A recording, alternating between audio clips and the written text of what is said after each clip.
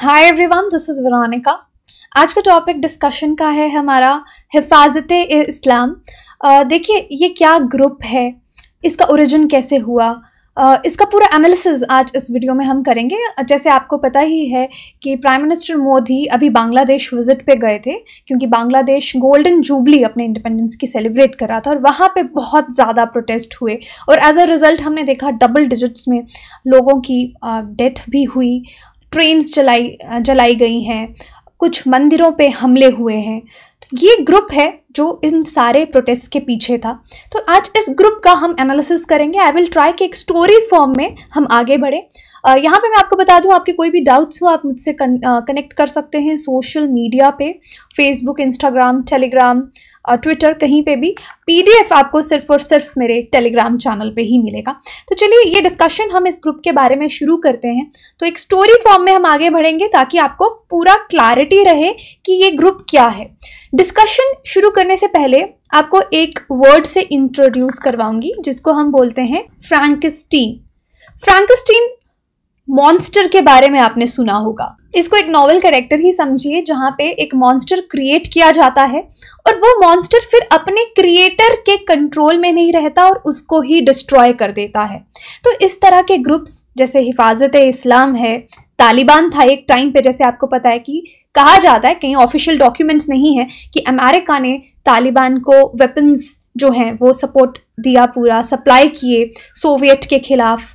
Right, और बाद में तालिबान अमेरिका के खिलाफ हो गया। यूजुअली देखिए ऐसा होता है कि एक बेटा है, अगर उसके फादर उसको सपोर्ट कर रहे हैं, हमेशा पैसे दे रहे हैं, और एक टाइम पे वही फादर अपने बेटे को पैसे देने बंद कर देते हैं तो बेटे को ऐसे फील होने लग जाता है, या बच्चों को ऐसा फील होने लग जाता है, हमारा एंटाइटलमेंट है, ये तो हमको मिलना ही चाहिए राइट तो इस तरह के ग्रुप्स के साथ भी ऐसा होता है, क्योंकि यूजली पहले उनको सपोर्ट किया जाता है किसी और चीज़ को सप्रेस करने के लिए। यहाँ पे जैसे जमाते इस्लामी, एक पुराना ग्रुप था एक्सट्रीमिस्ट और फंडामेंटलिस्ट इस्लामिस्ट का जिनको सप्रेस करने के लिए गवर्नमेंट ने हिफाजत इस्लाम को सपोर्ट किया और विद टाइम क्या हुआ? हिफाजत इस्लाम ही, ये जो ग्रुप है हिफाजत, यही अवामी लीग यानी गवर्नमेंट जो है बांग्लादेश के, उसके खिलाफ हो गया। तो ये छोटा सा इंट्रोडक्शन था फ्रैंकनस्टीन वर्ड से मैंने आपको इसलिए इंट्रोड्यूस कराया। तो ये उस तरह का मॉन्स्टर है जिसको क्रिएट किया जाता है और बाद में ये अपने क्रिएटर के खिलाफ हो जाता है।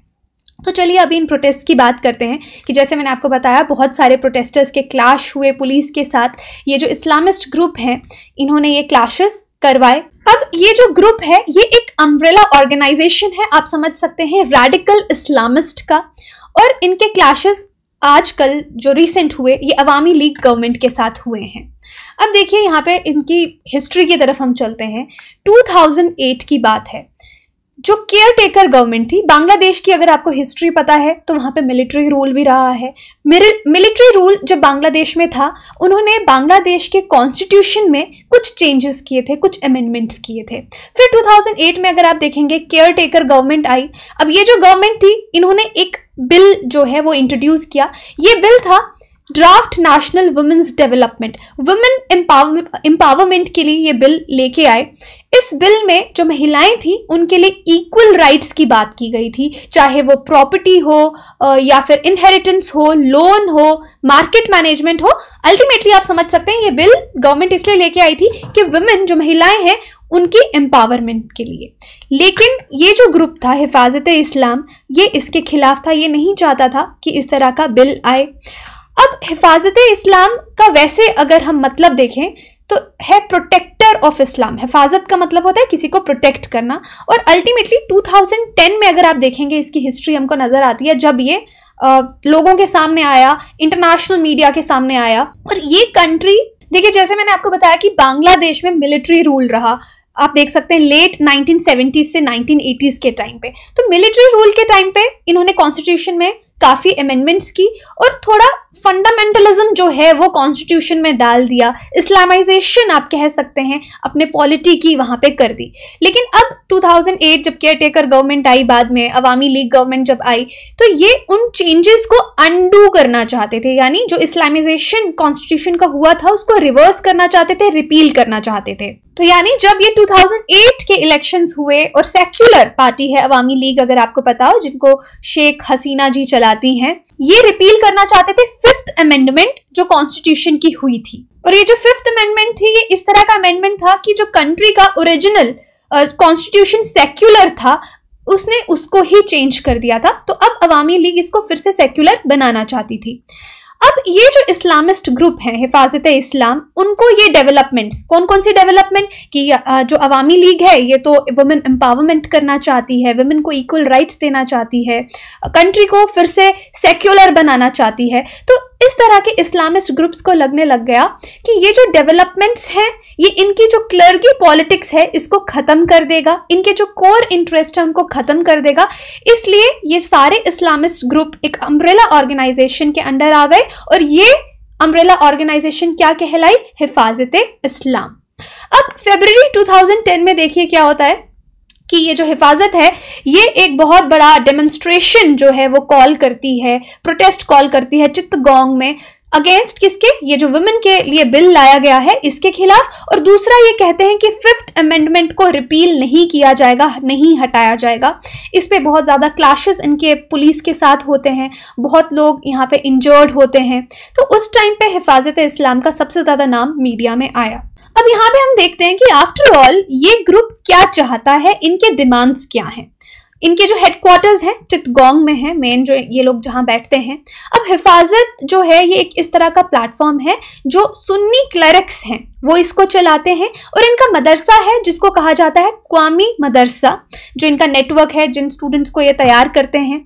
इकोनॉमिस्ट ने 2017 में यहाँ तक ये भी रिपोर्ट किया कि इस मदरसे को ये जो पूरा ग्रुप है हिफाजत, इसको फंडिंग कहाँ से मिलती है? सलाफी वहाबी इस्लामिस्ट सऊदी अरेबिया के वहाँ से इनको फंडिंग आती है, ऐसा इकोनॉमिस्ट ने रिपोर्ट किया। अब इनके एजेंडे की बात करते हैं।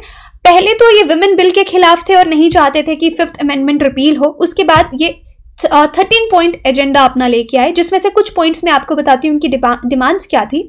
एंटी ब्लास्फेमी लॉ लेके आए, यानी अगर कोई इस्लाम के खिलाफ बोलता है, उसको पनिशमेंट दिया जाए और कैपिटल पनिशमेंट दिया जाए डेथ पेनल्टी ये इनकी डिमांड थी। दूसरी डिमांड इनकी थी कि वुमेन डेवलपमेंट लॉ जो है, इसको कैंसिल किया जाए, ऐसा बिल्कुल ना हो, ये पास ना किया जाए। उसके बाद इनका डिमांड था, जो स्टैचूज बांग्लादेश में हैं पब्लिक प्लेसेस में हैं, वो नहीं होने चाहिए। क्योंकि अगर आपको पता है, इस्लाम में जो आइडल्स हैं, मूर्ति पूजा नहीं होती है तो ये उसके खिलाफ है, ये चीज़ बांग्लादेश में नहीं होनी चाहिए। अगर कुछ स्टैचूज आपको मंदिर के अंदर रखने हैं तो वो रख सकते हैं, लेकिन पब्लिक प्लेसेस पे नहीं होने चाहिए। ये इनकी डिमांड है। उसके बाद अगर आप इनकी डिमांड देखिए कि मैन एंड वुमेन जो है वो पब्लिक प्लेसेस में एक जगह इकट्ठे नहीं होने चाहिए। और उसके बाद आपको एक कम्युनिटी पता होगी, पाकिस्तान में, जैसे अहमदियाज हैं, उनको नॉन मुस्लिम कहा जाता है मुस्लिम की कैटेगरी में नहीं रखा जाता। तो वही चीज़ ये चाहते हैं बांग्लादेश में भी हो कि अहमदियाज को नॉन मुस्लिम डिक्लेयर किया जाए जस्ट लाइक पाकिस्तान। तो आप देख रहे हैं, हिफाजत इस्लाम के जो डिमांड्स हैं, ये एकदम फंडामेंटल इस्लामिस्ट कंजर्वेटिव इस्लामिस्ट जो हैं, वो डिमांड्स इनके हैं। अब जब फाइनली इनका बहुत ज़्यादा प्रेशर गवर्नमेंट पे होने लगा अवामी लीग पे होने लगा, पहले तो गवर्नमेंट टॉलरेट करती रही ओके ठीक है, ठीक हो जाएगा, लेकिन फाइनली जब बहुत ज़्यादा प्रोटेस्ट होने लगे तो अर्ली आज मे सिक्स टू में क्या हुआ कि सिक्योरिटी फोर्सेस जो हैं बांग्लादेश की गवर्नमेंट ने उनको ऑर्डर दिया कि जो क्रैकडाउन है हिफाजत एक्टिविस्ट पे, वो किया जाए। तो ढाका में 2013 में ये इंसिडेंट हुआ, जहाँ पे अराउंड 11 पीपल 11 लोग जो हैं, वो इस ऑपरेशन में मारे गए। अब ऐसा होने के बाद हिफाजत को भी समझ में आ गया कि गवर्नमेंट के अगेंस्ट जाने का फ़ायदा नहीं है, क्योंकि गवर्नमेंट आपको कभी भी कब कर सकती है। तो अल्टीमेटली हिफाजत इस्लाम क्या बन गया? एक प्रेशर ग्रुप बन गया। अब देखिए प्रेशर ग्रुप्स क्या होते हैं? इंडिया में भी इस तरह के प्रेशर ग्रुप्स हैं। प्रेशर ग्रुप्स होते हैं वो लोग जो अपना एक्टिविटी करते हैं, अपना कोई एक कॉमन इंटरेस्ट जो है वो पुश करते हैं और एक प्लेटफॉर्म पे आ जाते हैं। ये लोग गवर्नमेंट में इन्वॉल्व नहीं होते पॉलिटिक्स में बिल्कुल इन्वॉल्व नहीं होते। तो आप समझ सकते हैं गवर्नमेंट और अपने मेंबर्स के बीच में एक लाइजन जो है वो बना के रखते हैं ये प्रेशर ग्रुप्स अपने इंटरेस्ट को प्रमोट करते हैं। इन ग्रुप्स को इंटरेस्ट ग्रुप्स और वेस्टेड ग्रुप्स भी कहा जाता है। तो जैसे मैंने आपको बताया, ये पॉलिटिकल पार्टीज़ से डिफरेंट है क्योंकि ये इलेक्शंस कभी भी नहीं लड़ते पॉलिटिकल पावर में नहीं आते। और इनका कंसर्न जो है वो स्पेसिफिक प्रोग्राम्स को लेकर रहता है एक्टिविटीज़ को रह, लेकर रहता है कि इनके इंटरेस्ट जो हैं वो प्रोटेक्टेड रहे और उनको अपने इंटरेस्ट को ये लोग प्रमोट करते हैं। गवर्नमेंट के डिसीजंस को उनकी पॉलिसी मेकिंग को इन्फ्लुएंस करके। तो यहाँ पे हम देखेंगे कि हिफाजत ने किस तरह से बांग्लादेश में अपने इंटरेस्ट को प्रमोट किया है और इनफैक्ट इनको काफ़ी कंसेशंस भी अवामी लीग की तरफ़ से मिली हैं। तो देखिए, जिस तरह से मैंने आपको बताया कि सिक्योरिटी फोर्सेस ने क्रैक डाउन इनकी पार्टी पे किया नॉट पार्टी इनके ग्रुप पे किया। फिर हिफाजत काफ़ी केयरफुल हो गई, उसके बाद प्रेशर डालने लगी गवर्नमेंट को अपने चीज़ों को लेकर। अब देखिए, जब फिफ्थ अमेंडमेंट रिपील हुआ, देखिए फिफ्थ अमेंडमेंट में बेसिकली क्या हुआ था? पहले बांग्लादेश का जो कॉन्स्टिट्यूशन था सेक्युलर था। यहाँ पे बोला गया कि बांग्लादेश एक इस्लामिक स्टेट है स्टेट रिलीजन इस्लाम रखा गया। अब फिफ्थ अमेंडमेंट को रिपील तो किया बांग्लादेश ने फिर से सेक्युलर जो एलिमेंट्स हैं, उनको फिर से कॉन्स्टिट्यूशन में डाला। लेकिन यहाँ पे इस्लाम continued to remain the state religion आज भी उनका स्टेट रिलीजन इस्लाम है। और ये प्रेशर किसकी वजह से था? हिफाजत इस्लाम ग्रुप की वजह से। तो आप देख सकते हैं कि किस तरह से, किस तरह से कंसेशन गवर्नमेंट ने यहाँ पे इनको दिया। और भी मैं आगे आपको बताती हूँ। देखिए, एक पहले ग्रुप था पाकिस्तान में जिसको बोलते हैं सॉरी बांग्लादेश में जमाते इस्लाम। ठीक है? जमाते इस्लाम, ये बहुत ही फंडामेंटलिस्ट थे। 1971 में अगर आपको पता हो मैसेकर्स बहुत लोगों की जान इन्होंने ली थी। ढाका यूनिवर्सिटी पे अटैक हुआ था। वहाँ पे बहुत ज़्यादा इंटेलेक्चुअल्स को मारा गया था। तो जमाते इस्लाम जो ग्रुप था, ये बैंड है बांग्लादेश में। ये pro Pakistan anti secular group है जो कि इस्लामिक स्टेट या इस्लामिक कंट्रीज़ चाहता है। लेकिन इसको बैन कर दिया गया क्योंकि इन्होंने बहुत लोगों की जान ली थी पाकिस्तान के साथ मिलकर जैसे ढाका यूनिवर्सिटी पे अटैक हुआ था तो दिस ग्रुप इज़ बैंड लेकिन अब यहाँ पे जो मैंने आपको फ्रैंकस्टीन का कॉन्सेप्ट बताया था कि एक मॉन्स्टर हम क्रिएट करते हैं तो इसी तरह से आप कह सकते हैं कि यहाँ पे हिफाजत इस्लाम जो है इसको यहाँ पे गवर्नमेंट ने सपोर्ट किया जमात इस्लाम को ख़त्म करने के लिए। एक एक्सट्रीम ग्रुप को ख़त्म करने के लिए किसी और चीज़ को सपोर्ट किया गया। और आज ये टाइम है जब थोड़ी थोड़ी कंसेशंस हिफाजत हिफाजत इस्लाम को दी गई, आज वो इस तरह के प्रोटेस्ट कर रहा है और गवर्नमेंट के ही अगेंस्ट हो गया, अपने ही क्रिएटर के अगेंस्ट हो गया। तो देखिए क्या क्या कंसेशन यहाँ पे हिफाजत इस्लाम को बांग्लादेश गवर्नमेंट ने दी। हिफाजत इस्लाम ने कहा कि स्कूल टेक्स्ट बुक में कुछ चीज़ें चेंज करनी है तो उनके प्रेशर से स्कूल टेक्स्ट बुक्स में वो चीज़ें चेंज की गई। तो डेफिनेटली उस टाइम जितने भी सेक्युलर ब्लॉगर्स और एक्टिविस्ट थे, उनके खिलाफ काफ़ी प्रोटेस्ट हुए। उसके बाद 2017 में देखिए, जैसे मैंने आपको बताया कि इनका 13 पॉइंट एजेंडा में ये है कि कोई भी मूर्ति जो है, स्टैचू जो है, वो पब्लिक प्लेस में ना हो। तो हिफाजत की डिमांड्स को मानते हुए गवर्नमेंट ने ग्रीक गॉडेस का स्टैचू था वो रिमूव कर दिया। उसके बाद 2018 में देखिए दावरा ए हदियत, ये ये बेसिकली एक टॉप डिग्री है। जैसे मैंने आपको बताया कि हिफाजत एक मदरसा चलाती है, कवामी मदरसा जिसको कहा जाता है। यहाँ पे जो स्टूडेंट्स हैं, उनको एक डिग्री दी जाती है दावरा ए हदियत। इस डिग्री को मास्टर्स डिग्री के इक्वलेंट गवर्नमेंट ने माना। ये एक पेंडिंग बहुत लॉन्ग पेंडिंग डिमांड थी हिफाजत की, हिफाजत के जो क्लरिक्स हैं उनकी, और ये गवर्नमेंट ने मानी। तो इस तरह की कंसेशन गवर्नमेंट ने इनको दी हैं। तो यहीं पे जो एनालिसिस मैं आपको तब से करके बता रही हूँ, जमात इस्लामी की मैंने आपको बात की, जो कि एक प्रो पाकिस्तान ग्रुप था। इस्लामिस्ट स्टेट चाहता था।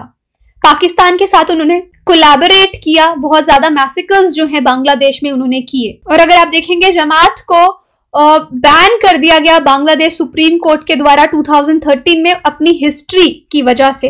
अब देखिए, जमाते इस्लामी तो डिसअपियर हो चुका है बांग्लादेश से, लेकिन अब एक नई फोर्स जो है हिफाजत इस्लाम के शक्ल में आपको वहाँ पे दिखेगी। अब ये जो हिफाजत इस्लाम है, इसको सेटअप किया था एक क्लरिक ने, शाह अहमद शफी ने 2010 में। अब ऑल दो हिफाजत इस्लाम कहता है कि 1971 लिबरेशन वॉर में जो एट्रोसिटीज लोगों पे हुई, वो उनके सख्त खिलाफ हैं। लेकिन अगर आप उनकी डिमांड्स देखेंगे तो उनकी डिमांड्स एकदम जमात से मिलती जुलती हैं। यानी वो इस्लामिस्ट फंडामेंटलिज्म बांग्लादेश में चाहते हैं। तो यहाँ पे एनालिसिस इसका यही है कि ये जो छोटी छोटी कंसेशन अवामी लीग या वहाँ की बांग्लादेश की गवर्नमेंट ने जो टाइम टू टाइम हिफाजत इस्लाम को दी, आज वही कारण है कि ये ग्रुप इतना स्ट्रॉन्ग हो चुका है। और ये अपने आप खुद की एंटाइटलमेंट समझते हैं कि इनको सपोर्ट गवर्नमेंट के द्वारा मिलनी ही चाहिए। तभी इस तरह के प्रोटेस्ट जो हैं, वो बांग्लादेश में हुए। ये अपनी ही गवर्नमेंट के अगेंस्ट जिन्होंने इनको सपोर्ट किया एक टाइम पे, उनके खिलाफ प्रोटेस्ट करने शुरू किए। तो यहाँ पे हमको समझना होगा इस तरह के जो प्रोटेस्ट हैं, अगर आप देखें फ़िलहाल इंडिया का सबसे फ्रेंडली नेबर बांग्लादेश ही है। तो यहाँ पे बांग्लादेश और इंडिया के लिए, दोनों के लिए, जहाँ पे ये मौका है कि हम अपने टाइज अपने रिश्ते और मज़बूत करें। हिफाजत इस्लाम जैसे जो ग्रुप्स हैं प्रेशर ग्रुप्स हैं, बहुत चैलेंजिंग हैं ये ढाका और न्यू दिल्ली दोनों के लिए। तो यही था आज का एनालिसिस हमारा डिस्कशन हिफाजत इस्लाम में। इसकी हिस्ट्री मैंने आपको जैसे समझाई कि किस तरह से इस तरह के प्रेशर ग्रुप्स जो हैं, वो इमर्ज होते हैं। फ्रांकस्टीन का कॉन्सेप्ट बताया। आई होप आपको ये क्लियर है। कोई भी डाउट हो, आप मुझसे कॉन्टैक्ट कर सकते हैं। बाकी अगर आप स्टडी आईक्यू का कोई भी कोर्स लेना चाहते हैं, हमारी वेबसाइट विज़िट कर सकते हैं एप्लीकेशन डाउनलोड कर सकते हैं। कोर्सेज हमारे ई पे भी अवेलेबल हैं। सारी जानकारी आपको वेबसाइट से मिल जाएगी। Thank you so much